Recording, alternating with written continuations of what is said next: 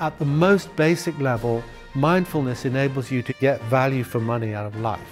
I'm very keen to um, introduce mindfulness as early as possible in the child development. Yeah, mindful eating is definitely the master's class in mindfulness. Mindfulness um, can give you better control over your, not only your cortex, but your ability of your cortex to control the other parts of your brain.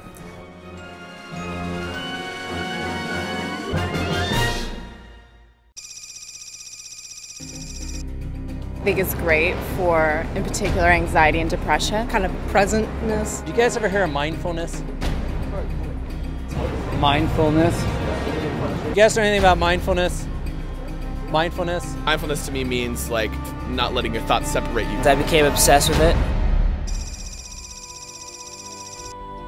I asked them specifically about doing more and more research on mindfulness. Mindfulness as a management skill. Teaching aspiring MBAs the techniques. Well, mindfulness is a form of awareness, really. You ever find yourself going through your day stuck in autopilot mode? And in the workplace to help combat stress in the moment. Paying attention in the only moment we're ever alive, which is this one.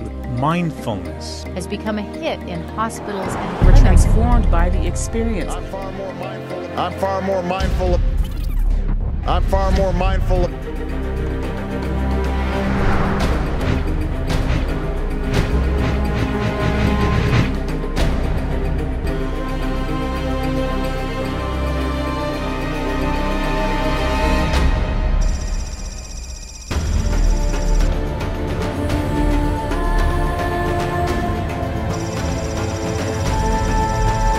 mindfulness in golf nine lessons which guide them through the basic mindfulness skills. Welcome.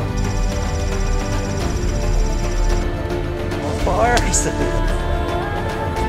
Play it forever. Well, so we've talked about the tricks. Thanks for having us. They usually they work in symphony.